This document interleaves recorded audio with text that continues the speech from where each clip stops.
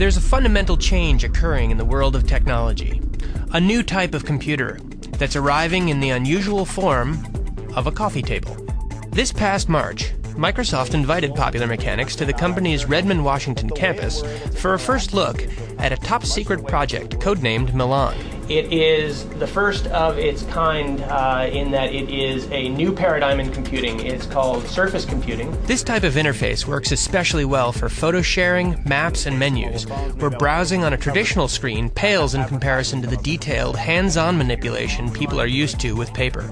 You can do things like organize your photos, drag them around and resize them, and play with them as if they were real photos, real printed photos. And here we even have a little video. Surface computing utilizes multi-touch technology, which is a multi-finger, multi-user interface that has been bouncing around the world of computer science since the 1980s. This is a multi-touch uh, input device, and multi-touch, uh, which generally means multi-point input devices, are about allowing more than one input uh, to be processed at a time. NYU computer scientist Jeff Han builds huge multi-touch displays for corporate and military clients through his company, Perceptive Pixel. In fact, multi-touch is swiftly becoming the hot interface for electronic devices. Multi-touch, first of all, allows for direct manipulation. It means you're actually contacting not to an intermediary, but actually on the graphics itself. It's a direct manipulation interface.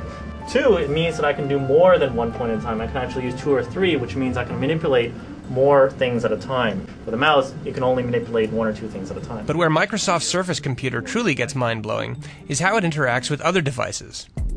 The Surface computer uses a series of infrared cameras to literally see what is on its tabletop. What we're able to do is also have interaction with objects on the surface.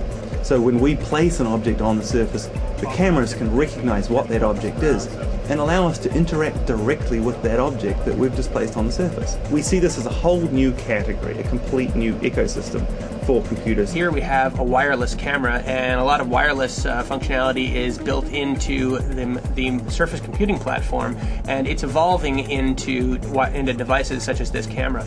So here we're going to take a picture of uh, my colleague Eric Sofge.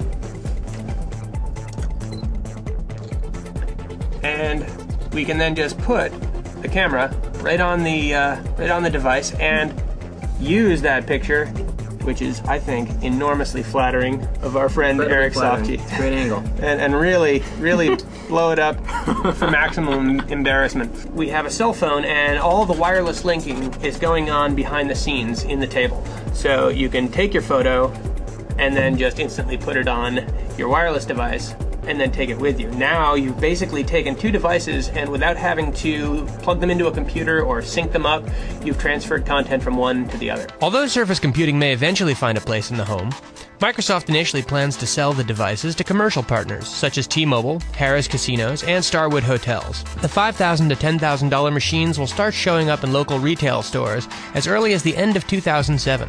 But where is all of this leading?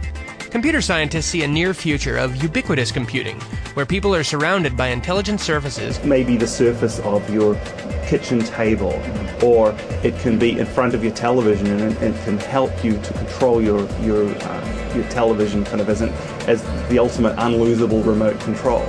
Eventually, of course, this will trickle down, and I do, I am very positive, and uh, I firmly believe that this kind of thing will be in that near future where we have wallpaper displays in every hallway, every desk, every surface starts to become an interface of a computer. And in order for that to happen, we need interfaces like this. You